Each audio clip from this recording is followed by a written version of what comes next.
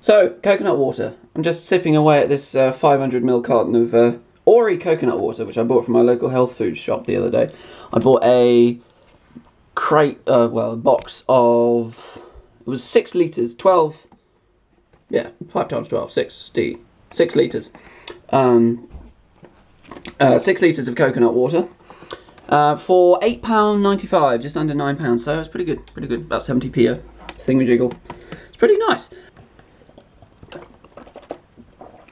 I've been drinking a lot of it recently, and I got thinking, should I stop? Should I bail and stop drinking normal water and just stick to coconut water? That's what some people say.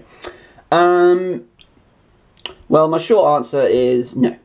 I don't think that you should drink coconut water instead of regular spring water.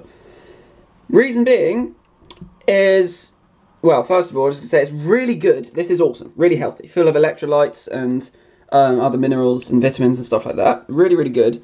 Um, and all other water-rich fruits are awesome to keep you hydrated. And we're supposed to consume them, definitely. That's a good thing. But I don't believe that you should just consume those sort of things. So this is like, this is basically the water from inside a coconut, right?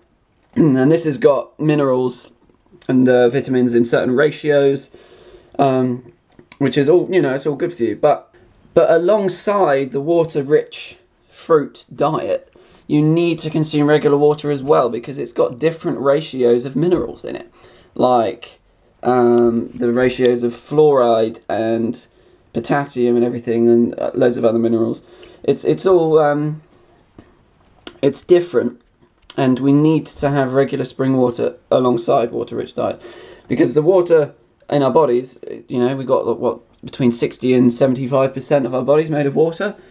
Um, that isn't coconut water inside our body. It may have things which coconut water's got in it, but we need to consume regular water alongside as well. But if you eat a water-rich diet, you know, in your foods, then you're not going to have to smash in loads of water. If you're drinking, eating loads of salty foods, then you're probably going to have to drink lots more water. So, short answer: Should you replace water for coconut water? No. Should you drink coconut water? Yeah, if you want. Awesome, go for it. It's really healthy for you. But don't replace it for regular spring water. Alright, hope you liked the video. Share your opinion down below. See you for the next video.